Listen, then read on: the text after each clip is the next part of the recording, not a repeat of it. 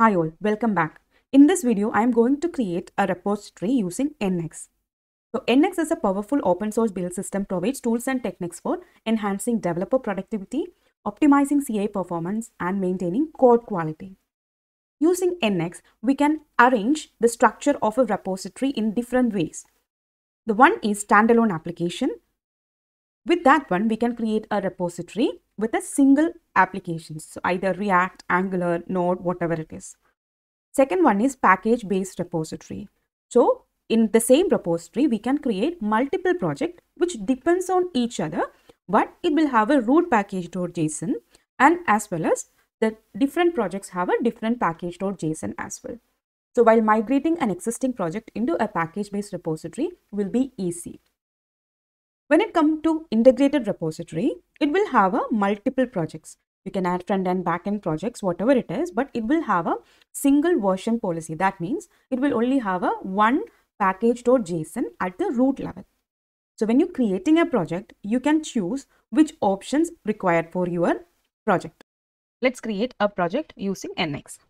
For that, wherever you want to create a project, go to that folder and give the command npx create nx workspace at latest.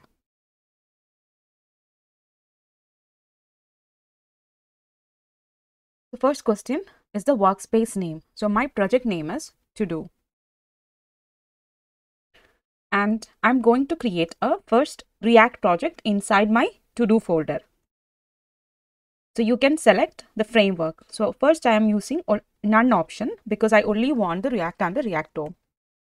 So it will choose for integrated or standalone. I am going ahead with the integrated monorepo because I want to create another folder after some time. So application name, first I'm going ahead with the UI.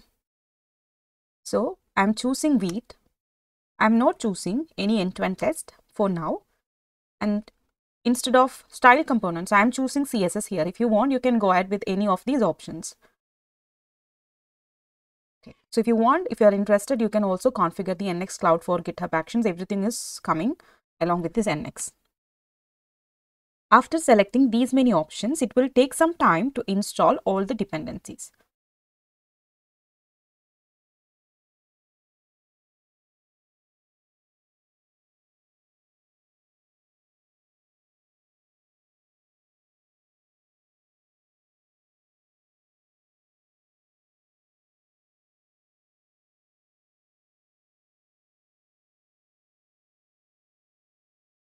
The folder is created you can see in inside the to do this is our project name and inside you can see apps.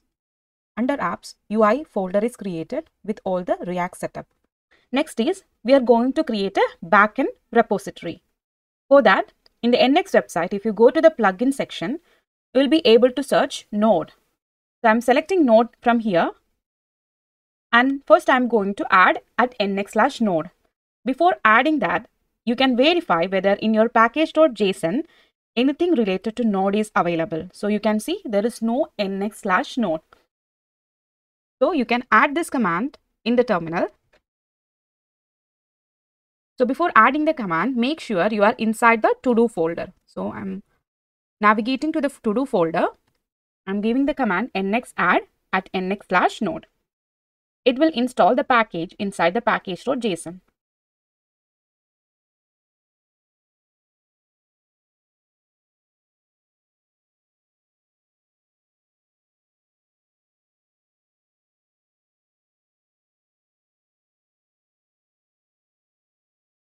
Now you can see this package is added in the package.json and it is installed inside the node modules.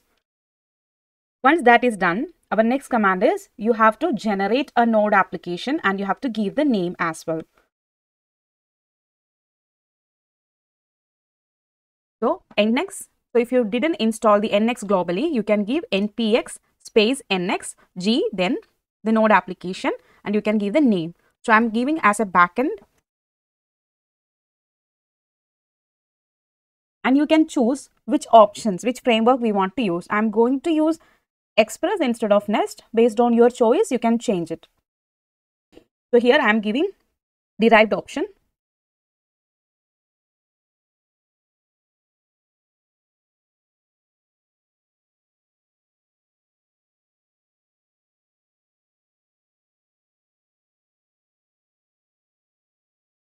The backend setup is done. In order to see the folder structure, you can see inside the apps, the backend and backend end-to-end test is created and the UI folder is there. So this is a mono repo with the front end and the backend application installed. Next is if you want to use any library, what you can do. For example, if you want to use a node library, you can simply create a new library using nxglib. Then you can give the name of the library. Now I am going to create a library using a JavaScript. For that, you can search JS. Inside that, you can see nxjs and you have to add. Before adding this command, make sure in your package.json it is not there. Now you can see it is already there. So I can skip this step. The next step is you can add nxg and using this nxjs library, you can add a new library. If you want to add the preset with the TypeScript option, you can add that as well. So I'm just copying this command inside from inside our to-do application. If your system doesn't install the nx, you can give npx nx and you can give mylib or whatever the name you suggest. Then the preset equal to ts.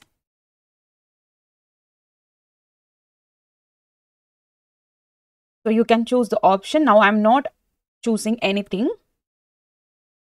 So none. Then TSC I am giving. So the library is also created. So when you come to the folder structure, the library is created inside the uh, to do. There is a mylib option. So this is how front end, back end or lib is getting added to an NX monorepo. So how we will run these applications?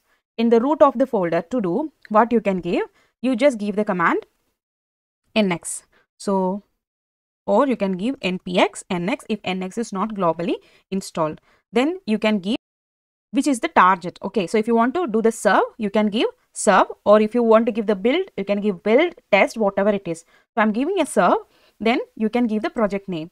So our first project name is ui right? So i'm just going to serve the ui As I mentioned earlier, if NX is globally installed in your machine, you can skip NPX.